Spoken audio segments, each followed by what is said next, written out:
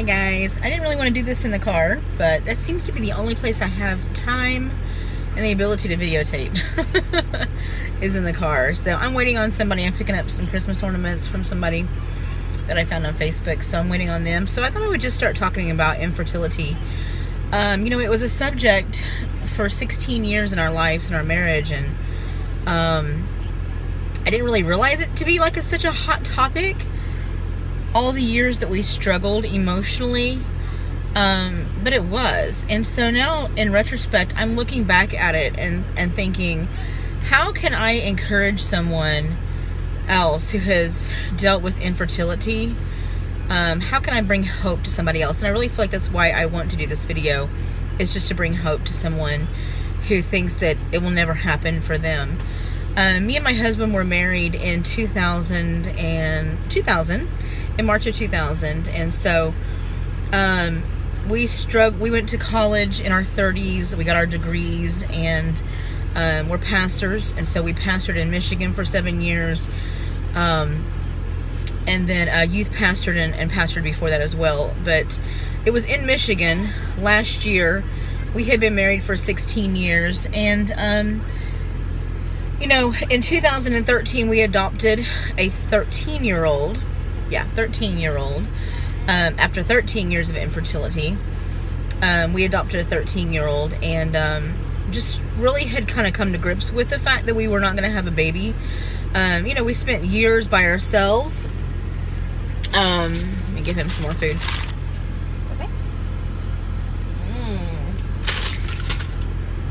you know, in our 20s and our 30s, most of our 30s, um, we, we just had us. And, and we kind of did it backwards because, you know, even though we couldn't have a baby uh, and couldn't conceive, we, um, we did things we wanted to do. We went on vacations. We went on weekend trips. We went, did what we wanted to do. We loved coffee. We loved coffee shops. And so we had all that free time um, you know, all those years and just kind of really kind of figured that's the way it would be. We always wanted to adopt. We knew we couldn't have kids, so we always wanted to adopt. But um, was really just too busy to go through the classes and get certified and all that stuff. So it really wasn't until we moved to Michigan that we started that process with Bethany Christian Services. And it was a good process. They made it really easy for us. We never had a dime out of pocket. Um, we signed up to be foster care parents because we were really afraid that we couldn't adopt financially, that we wouldn't be able to afford it. And um, so we figured we'd go through foster care because we knew we'd have their financial support.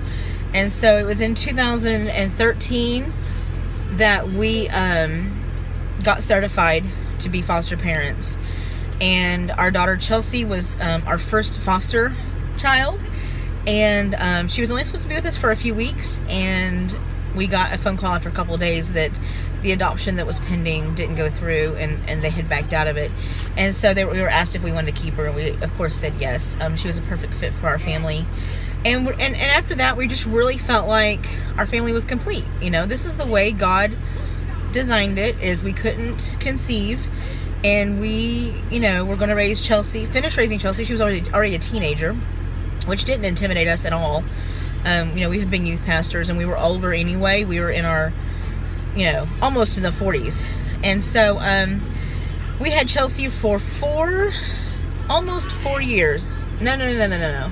Yes, it was almost four years last May when I had, um, for last few months, the last few months I had been having a lot of nausea, um, different things going on, and my husband kept saying, you need to take a pregnancy test. And I was like, no, I'm not taking a pregnancy test. I've taken so many pregnancy tests in the last 16 years, I'm not taking a pregnancy test. And finally, I bought one. I bought a pack and um, we celebrated my 41st and his 42nd birthday on Tuesday night. And on Wednesday morning, um, I took a pregnancy test and I was pregnant. I, and little did I know, I was actually already three months pregnant. And so it was a whirlwind of emotions. It was a whirlwind year. Um, it was amazing pregnancy. It was an amazing experience. And I think it was amazing because I just never thought I'd get to experience it. And so, um, just, I mean, there's just so many details I could tell you, but I don't have time for it. Um, I will say, looking back at our infertility years, we did not have any medical testing done to find out why we could not conceive. We, we were, we never have the money um, or the resources or the insurance or anything like that to pursue it medically. You know, in vitro wasn't an option. None of that was an option for us. Financially, we just it just wasn't an option. We just put it in God's hands, and if it was God's will for us to get pregnant, we knew that we would, and we just never did. Um, but looking back over those 16 years, and mainly the first 13, because when we got Chelsea, we kind of just kind of resolved. I think that that was our family. Um, that's the way our family was going to look. Was you know, a, a, an older child that really she was the age but we would have been when we had you know when we got married if we got pregnant she was about that age so it was just perfect and so but looking back over those years it was just hard i've, I've had many breakdowns um, you know we, we've had friends who've had kids and struggled and thinking you know what would it be like if we had a baby and um, you know even though we loved Chelsea, you know, and loved her so much, it just was what is it like to have a baby and raise them from birth, you know? And we were never given that opportunity. And I actually thought, um, you know, I, I, I couldn't stand Mother's Day. I mean, it was I couldn't stand it. I was happy for mothers, but it was always such kind of a down day. I felt, I honestly felt like I was, I was broken. Like I didn't work because I couldn't conceive. I think most of the years I felt like something was wrong with me. It really wasn't that I wanted a baby as much as the fact I wanted the chance to do it like every other woman had.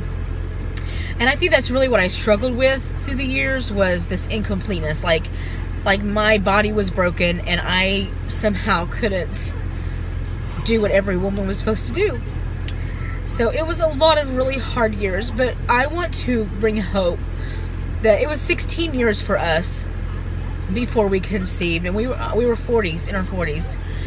And I just want to bring hope to you. If you've lost hope, please don't, because when you least expect it, it can happen. And so that's kind of how it worked for us. I just hope that this video kind of helps you and encourages you if you struggle with infertility. Um, if you have any questions, you can give me a message below. You can inbox me.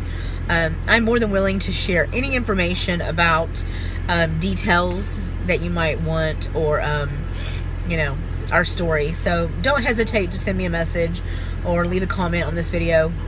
I'm more than willing to share that information. It would take forever to give you every single detail.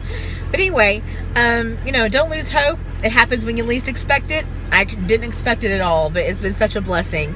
And there he is. but he's such a blessing to us, and we thank God for him every day. And we love our family. Thanks for watching this video and I'll see you next time.